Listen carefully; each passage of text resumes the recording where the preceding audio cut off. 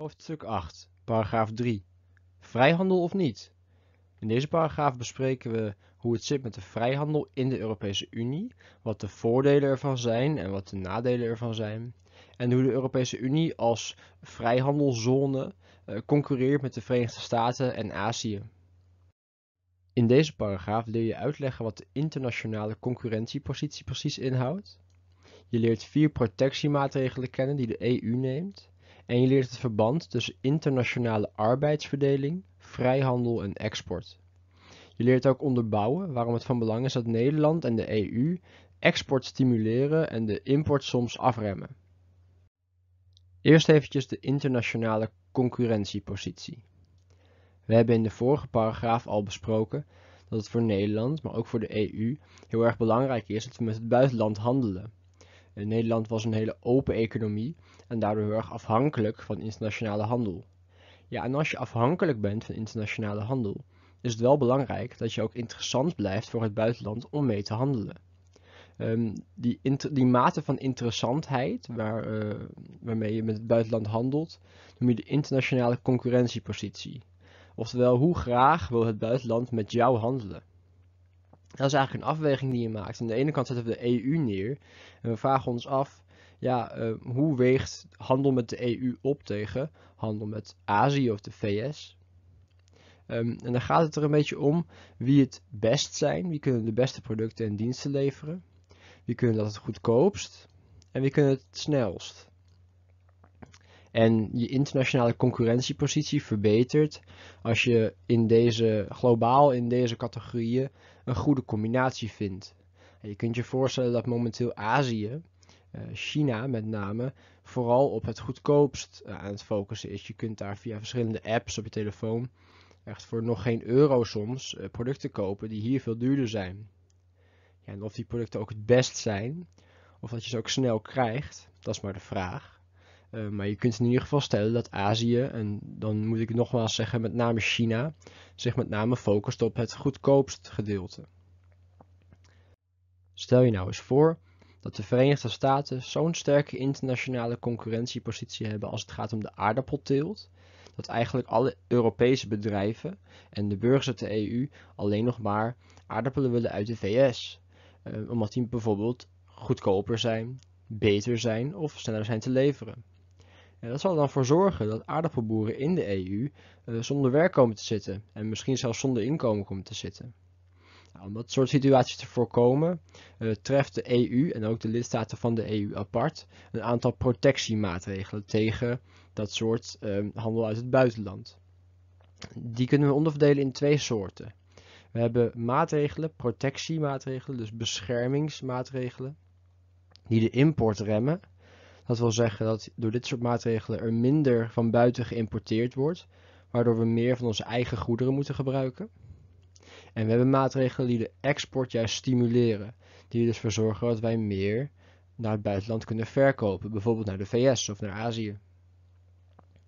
Voorbeelden van die importremmende protectiemaatregelen zijn invoerrechten.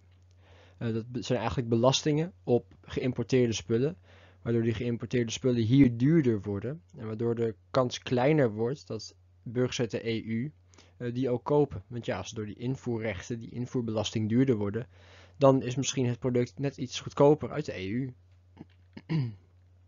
We hebben het over contingentering een uh, moeilijk woord. En dat betekent eigenlijk dat we zeggen, we mogen maximaal 1000 auto's uit de VS importeren. En als het er meer dan 1000 worden, dan kan het niet meer en dan moeten we auto's uit de EU gaan gebruiken.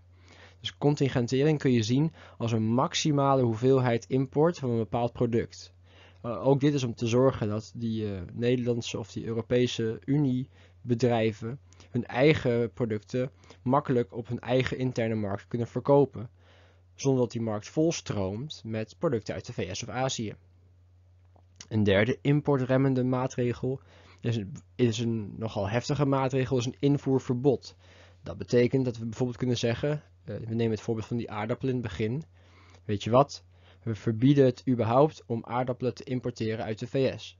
Zodat onze aardappelboeren, onze zijn die uit de EU en Nederland, uh, hun geld kunnen verdienen en hun eigen aardappelen hier op de interne markt kunnen brengen.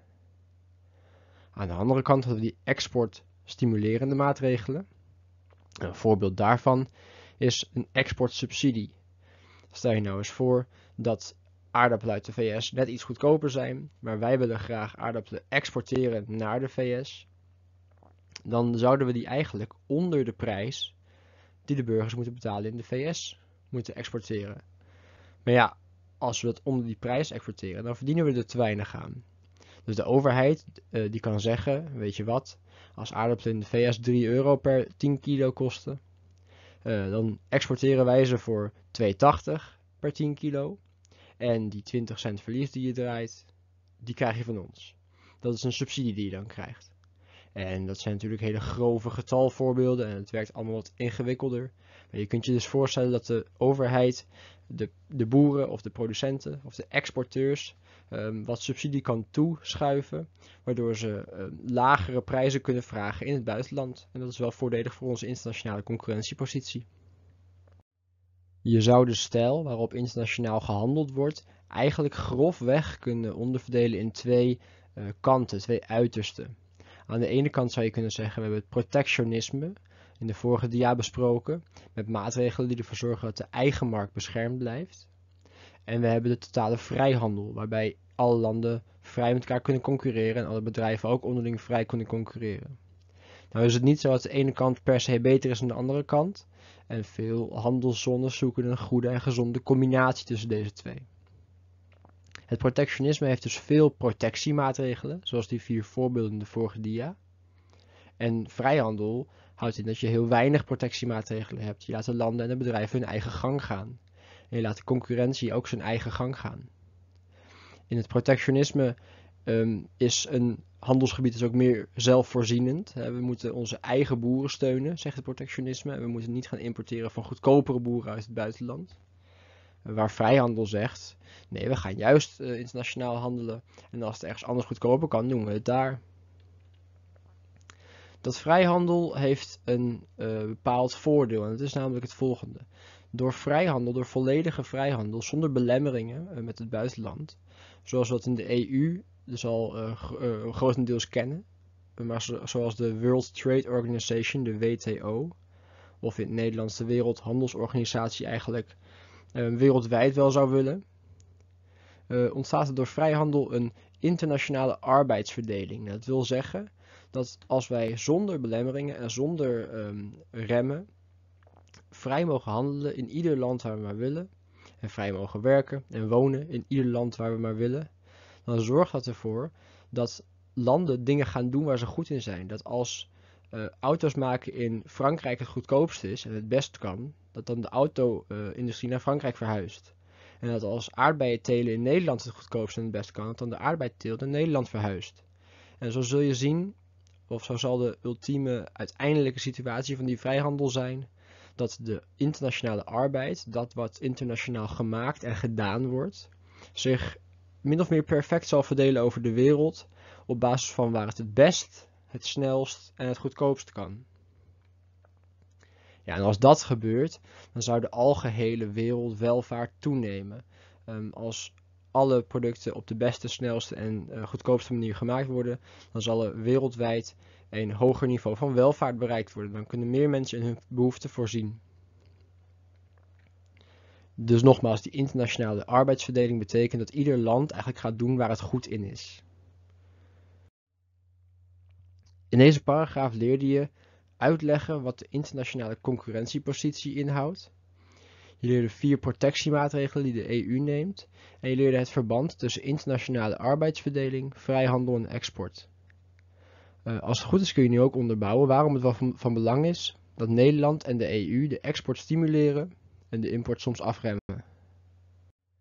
Om nou te testen of je je leerdoelen ook bereikt hebt, kun je deze vragen beantwoorden.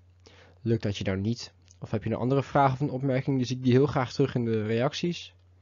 Daarnaast wil ik je bedanken voor je aandacht en graag tot volgende keer.